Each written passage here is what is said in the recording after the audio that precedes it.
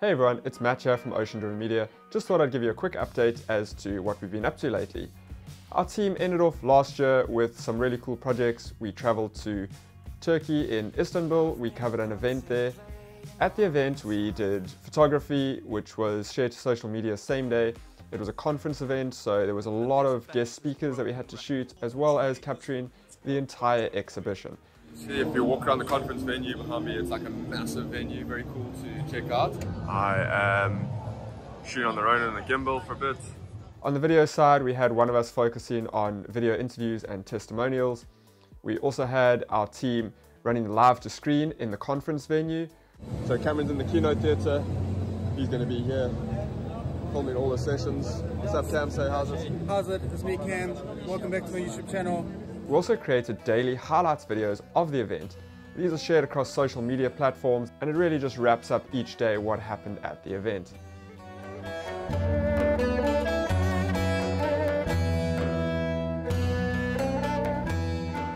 Back home, we've been working with uh, the Bambai project for many years, and they've recently rebranded to become the ReStory Foundation. We've been working with them for many years, and this story is very close to our heart of what they do, and we thoroughly enjoyed having the opportunity to create a brand launch video for them and share their new brand that has come about. Over 16 years of journeying together has seen lives restored, bridges built, and mindsets challenged.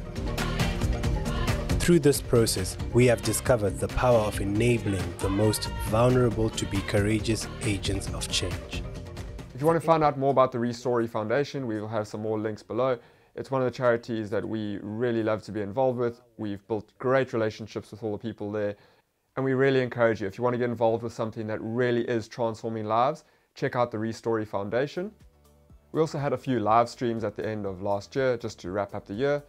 I headed down to Cape Town for the Ultra Trail Cape Town. It's an amazing accomplishment for the runners who complete this 100 mile, yes, you heard it. It's a 100 mile race, that's 160 kilometers. There's also runners who do a 100 kilometer race.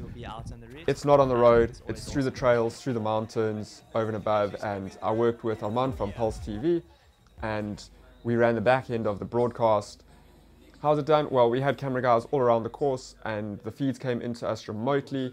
We then put together the broadcast, we had a commentary team. It was a really great event and we really were able to push some new technology in the remote broadcast space and we're really looking forward to working on more projects like this coming up.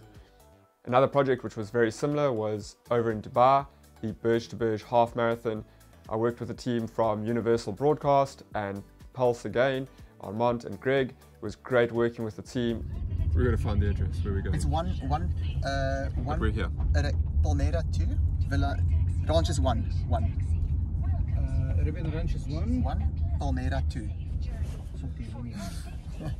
It's going well so far. Super well. We know exactly where we're going. So first morning we went out, we shot some of the kiddies race uh, of the Burj to Burj. Got the massive tower behind us. Now we're gonna head and set up for the rest of the broadcast for the day. Gonna be good fun. Woo! Lots to do today, going to be exciting, and we'll run you through a bit of the setup at the back end. Yeah, all, all, all good. Excited for today. This is the setup. We've got this Mac running vMix on an Amazon web server. This Windows laptop running vMix on an Amazon web, web server. That's replays. This is our final mix. And then here we've got our Monthard at work, programming everything for Pulse, getting it all set up and sorted out.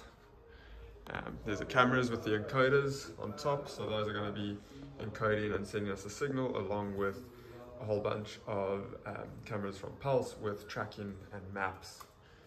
We're going to get all that information, so we'll know exactly where each camera is um, with the lead runners on the route with a live map. Greg's busy programming and replays over here and the vMix machines. We're now busy setting up our comms on Unity and that's the one vMix machine for switching and this is the other vMix machine. It was a super cool trip going to Dubai, working with Greg and the Universal Broadcast team and our Armand from Pulse. In Durban, we've got a really cool office space with an awesome sea view. We've set up a video and podcast studio.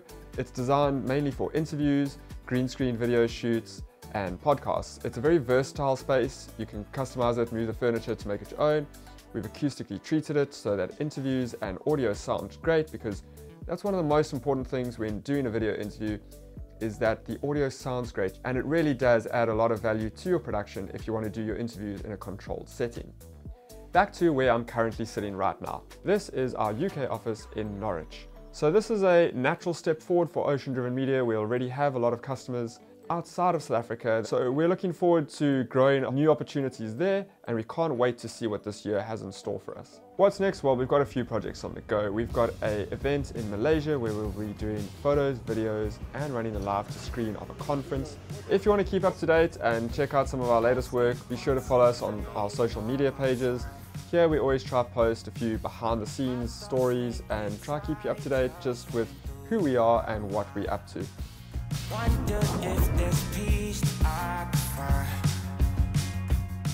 We're missing a tripod. Don't break it, don't break it. I've done it. How did you do I've saved the day. Where did you find it? I was. They made me go through customs.